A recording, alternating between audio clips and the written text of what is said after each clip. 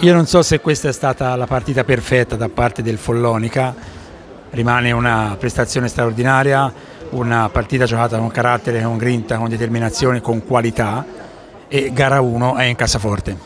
Sì, noi sappiamo che mh, bisogna vincere tre per arrivare eh, in finale, abbiamo vinto una eh, e basta, è finito lì. Resettiamo quello che di buono e tanto di buono abbiamo fatto stasera perché sabato c'è già un'altra partita ugualmente complicata, difficile, in casa loro.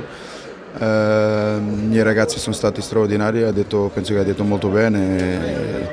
Abbiamo sbagliato tanto, eh, anche con la sfortuna, abbiamo preso un, un sacco di palle traverse, abbiamo sbagliato uno contro il portiere diverse volte. Eh, se la partita poi andava su un doppio vantaggio penso che sarebbe diversa. È sempre stata lì, anche per merito dell'avversario che, che lo sapevamo che aveva molta qualità, l'ha dimostrato, però penso che oggi siamo stati i giusti vincitori.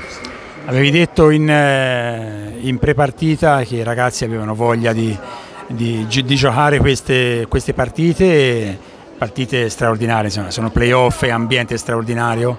Avevi chiesto il, il tifo, avevi chiesto la curva eh, carica, insomma, direi che da questo punto di vista insomma, non, si può, si non, non si può dire niente. Sì, è un mercoledì sera vedere il palazzetto così come era oggi fa solo che piacere, sono contentissimo eh, anche per i ragazzi perché hanno, hanno bisogno e meritano questo supporto che stanno avendo, la gente si diverte, sa che chi veste questa maglia dà tutto quello che ha.